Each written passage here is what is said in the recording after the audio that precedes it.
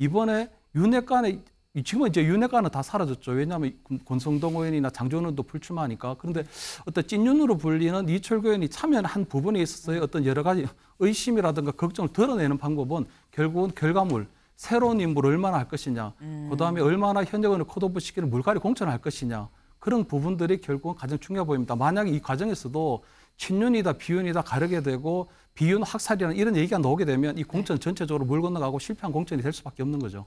이재명 사당화라는 말씀 앞서 다른 패널들이 주셨잖아요. 이거는 당정일체고 이재명은 사당화다 이렇게 볼 수 없습니다. 이거 윤석열 대통령 사당화죠 이게. 저는요 경향신문이 key man 이렇게 뽑았잖아요. 네. 저는 이건 key man도 넘어선다고 봐요. 지금 이 정도 구조로 짜면 이거는 거의 양자게이트 포탈이다. 용산 포탈이라고 봐요. 그냥 그쪽에 생각하면 바로바로 바로 순간 이동 되는 겁니다. 이게. 예? 그 정도 수준의 지금 국민 입장에서 국민 시각, 국민 눈높이에서 오면 그 정도의 사당화, 음. 대통령의 사당. 근데 포인트가 두 가지인 것 같아요. 친윤인 이철규 의원이 공관위원이 됐다. 그리고 절반이 법조인이다. 라는 얘기인 것 같은데 윤영걸 대표님. 예. 세계일보가 포인트 힘을 준 요 두 가지 부분 어제 공관위 구성 어떻게 보셨습니까? 아, 저 한동훈 비대위원장이 임명한 거잖아요. 네. 위원장은 이제 교수로 임명하고 그 비대위원 아, 공간 위원들을 좀 면면을 좀 친윤 색깔을 조금 옅하게 했으면 좋았을 텐데 뭐 이런 음. 생각이 드는데 너무 좀 이철규 의원 음. 과거에 뭐 사무총장도 하고 인재 영입위원장도 했는데 이번에 공간위원장까지 갔잖아요. 그러니까 사, 실상 위원까지 사실상 친윤 입김이 작용할 수 있는 그런 구도로 들어갔다. 이렇게 볼 수 있겠습니다. 아무리 음. 뭐 따로 한다고 해도 지금 공간위원장 자체가 민주당도 그렇지만은 당에 대해서 잘 몰라요. 국회의원들 몇 명이나 알겠어요? 지역구가 253개 지역에서 출마하는데 제가 알기는 아무리 많이 알아도 한 10명, 20명 알 겁니다. 나머지 하나도 모르는데 저 평가를 누가 하겠어요? 공간위원? 제가 보기에는 이철규 의원이 주도를 하고 다른 공관위원들은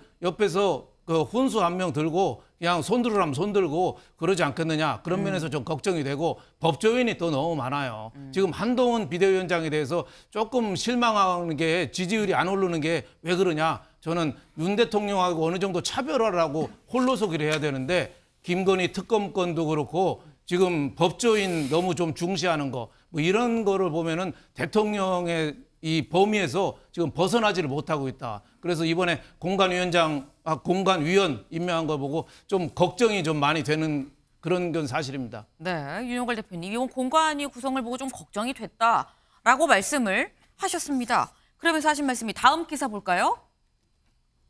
다음 기사. 여당 공관위원회 이철규 어차피 키맨은 윤핵관 경향신문의 기사입니다. 이철규 의원이 공관위원이 된 걸 보니 어차피 키맨은 윤핵관이구나 라는 게 경향신문의 제목인데 윤영걸 대표님 말씀도 여기와 좀 상통하는 지금 이 비슷한 말씀을 좀 주셨어요. 그래서 기자들이 이철규 의원한테 물었습니다. 어 이렇게 되면 이철규 의원님 들어가시면 이거 결국은 친윤 공천 아닙니까? 라는 기자들이 질문을 했는데 우리 당에 유리한 결과물이 나오도록 일하는 게 목표입니다. 친윤이 아니라 우리 당에 유리한 결과물이 나오는 게 목표다라고 얘기를 하는 거죠. 그러면서 당에 무슨 개파가 있습니까? 라고 얘기를 했어요. 네. 그러면서 한 얘기가 친윤, 비윤이라는 게 없다. 비윤이 어디 있느냐? 왜 자꾸 가르냐? 이 자꾸 개파를 가르냐 라는 얘기를 했습니다. 사실 비윤은 당에 없다. 국민의힘이라면 당연히 다 친윤 아니야 라고 얘기를 한 건데 지금 윤용걸 대표님 얘기는 아까 경향신문 제목은 그렇죠. 김철현 의원님.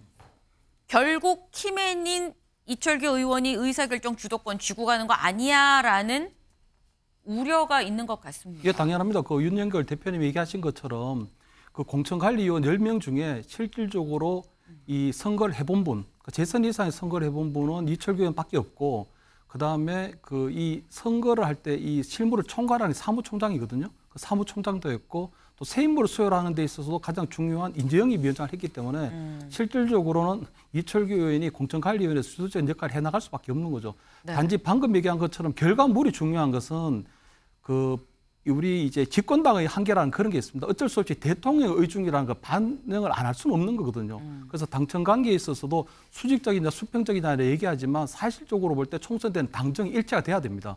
그래서 2008년도 이명박 정부 때는 네. 그때는 이방호 사무총장이 전체적으로 아무런 문제 없이 진행을 했고 2016년 때는 그때 김무성 대표가 박근혜 청와대하고 트러블이 많이 생겨서 그때 옥새 들고 나르샤 파동도 벌어지고 진박 간별사 파동이 벌어지면서 총선이 어그러지고 국민들에게 메시지가 아주 나빠 이미지가 나빠졌었거든요. 그래서 결국 이번에 윤핵관의 지금은 이제 윤핵관은 다 사라졌죠. 왜냐하면 권성동 의원이나 장조원 의원도 불출마하니까. 그런데 어떤 찐윤으로 불리는 이철규 의원이 참여한 부분에 있어서의 어떤 여러 가지 의심이라든가 걱정을 드러내는 방법은 결국은 결과물 새로운 인물을 얼마나 할 것이냐, 그다음에 얼마나 현역원을 컷오프 시키는 물갈이 공천을 할 것이냐 그런 부분들이 결국은 가장 중요해 보입니다. 만약에 이 과정에서도 친윤이다 비윤이다 가르게 되고 비윤 학살이라는 이런 얘기가 나오게 되면 이 공천 전체적으로 물 건너가고 실패한 공천이 될 수밖에 없는 거죠.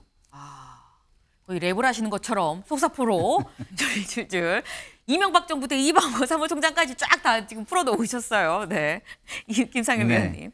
제가 뭐 이 비판을 좀 하기 위해서 앞 시간을 빌드업을 했다 저한테 좀 말씀을 드릴 수 있는데요. 어, 네. 자 이재명 사당화라는 말씀 앞서 다른 패널들이 주셨잖아요. 이거는 당정일체고 이재명은 사당화다 이렇게 볼 수 없습니다. 이거 윤석열 대통령 사당화죠 이게. 저는요 경향신문이 키맨 이렇게 뽑았잖아요. 네. 저는 이건 키맨도 넘어선다고 봐요. 지금 이 정도 구조로 짜면 이거는 거의 양자게이트 포탈이다. 용산 포탈이라고 봐요. 그냥 그쪽에 생각하면 바로 바로 순간 이동 되는 겁니다. 이게. 예? 그 정도 수준의 지금 국민 입장에서 국민 시각, 국민 눈높이에서 오면 그 정도의 사당화, 대통령의 사당, 포탈당 이렇게 저는 됐다 이렇게 생각하고요. 그렇기 때문에 한동훈 장관이 본인은 멜랑콜리하지 않다고 얘기했는데 음. 전 국민이 멜랑콜리해질 것 같습니다. 아, 지금 마지막 한동훈 장관 말씀하셨. 안 그래도 저희가 한동훈 장관한테도 기자들이 그 부분을 물어봤습니다. 어, 공관위원 이철구 의원 들어가고 이거 어, 친윤 우려가 있습니다 라는 얘기를 했는데 한동훈 위원장이 뭐라고 얘기를 했는지 들어보고 얘기 이어가 보시죠. 그건 아닙니다. 이 공천 지금 당을 이끌고 있는 것은 저입니다. 저와 공천관리위원장께서 설득력 있는 공천, 이기는 공천을 할 겁니다. 앞으로 보시면 그런 우려들은 기우였다고 생각하실 겁니다. 네. 나 그렇게 아는 사람 밀어줄 정도로 멜랑꼴리한 사람 아닙니다 라고 얘기를 했습니다. 그러니까 나는 내가 그렇게 안다고 누구도 공천해주고 이런 사람 아닙니다 라고 얘기를 한 거예요. 네. 윤경호 위원님. 이 지금 아까 말씀 중에 김철현 의원님 그러죠. 윤핵관은 없다. 지금 뭐 권성동 의원이고 뭐고 다 지금 다 내려놓지 않았느냐. 장재원 의원 불출마하고 다만 찐윤 이철규 의원이 있을 뿐이다라고 말씀을 하셨는데 한동훈 위원장이 나 그런 사람 아니야. 공정한 공천한다라고 얘기를 했습니다. 어떻게 보세요? 제가 지휘합니다. 제가 앞에 있습니다. 그랬지만 마치 저게요. 나를 따르라라고 지휘관이 얘기했는데 뒤에 아무도 따르는 사람이 없는 썰렁한 모습이 비춰질 가능성. 그게 바로 지금 공관위원 구성이나 앞으로 공천 작업에서의 에, 모습일 수 있다. 왜? 이철규라는 존재 때문에. 자, 한번 생각해 보세요. 어, 혁신위원장이라는 인요한이 등장했던 이유가 뭐였죠? 강서구청장 선거 하나에서 졌다고 온 난리 쳤던 거 아니에요. 그때 뭐였어요?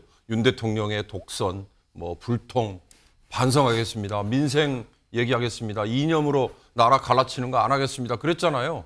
그래서 들어와서 인요한이 한 게 뭐예요? 친윤 다 불출마 내지는 중진들 뒷전으로 좀 물러나세요라고 얘기했잖아요. 그래서 물러났는데 아 정작 이철규는 친윤이었는데 당 사무총장이었잖아요. 더군다나 책임을 져야 될 사람이 오히려 그 다음에 인재 영입위원장 그리고 이제 공관위원 중에 키맨으로 등장한 걸 보면 네. 그래서 이철규 의원에게 찐윤이라는 얘기가 남아 있는 꼴이 됐잖아요. 자, 이 얘기는 뭐냐? 아까 우리 김상일 위원이 얘기한 것처럼 결국 윤 대통령의 뜻이 순간이동처럼 즉각 반영이 될 수 있는 구조가 만들어진 거구나라고 본다는 거죠. 그 결과는 뭘까? 윤 대통령이 처음에 집권을 하고 검사 출신으로 주요 요직에 전부 포진을 시켰던 거에 대해서 얼마나 많은 비판과 반감이 일었어요. 한동훈이라는 검사 출신의 법무장관이 바로 여당 대표가 지명직 대표가 될 때 비대위원장이라는 이름이지만 아니 또 검사냐라는 비판이 가장 부담스러웠잖아요. 이 공천 결과도 앞으로 검사들을 또 주요 어, 공천 에, 박아 넣는 그 창구 역할을 이철규 의원이 할 거 아니냐 그런 비판일 텐데 이거 역시도 아까 제가 말씀드립니다. 민주당 마찬가지지만 국민의힘도 유권자의 눈에서 보면 이게 통할까? 그게 선거 결과에 그대로 반영이 될 거예요. 네. 여야 할 것 없이 유권자의 눈으로 공천을 해야 된다.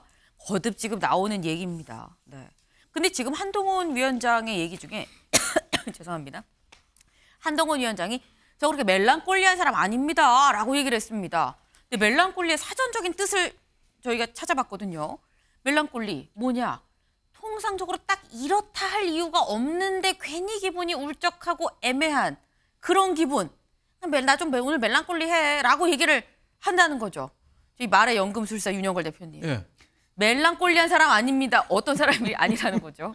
좀 정확한 표현은 아닌 것 같아요. 나 그렇게 네. 이상하고 우울한 사람 아니야. 그러니까 뭐 친윤 찍어 내 찍어 넣어서 공천하고 이런 게 삐따다간 사람이 아니야. 뭐 이런 뜻으로 얘기한 거 사람 아닌가. 아니야. 예. 언어 마술사 한동훈 비대위원장이 한 표현치고는 조금 좀 예, 적격한 정확한 표현은 좀 아닌 것 같습니다만 전체적으로 공천 과정을 우울하게는 가져가지 않겠다. 네. 밝고 희망적인 쪽으로 좀 가겠다. 뭐 그런 뜻인데 제가 네. 보기에는 공천 이철기 의원도 그렇고 법조인이 절반이나 되는 거는 조금 납득하기가 좀 어렵죠. 법치 국가는 법 정신으로 가는 나라가 네. 법치 국가지 법조인이 나라를 다스리는 게 법치 국가가 아니거든요. 정말 법조인에 대해서 다시 한번 좀 국민의힘이 생각해 보라고 좀 이 자리에서 좀 말씀드리고 싶습니다. 네.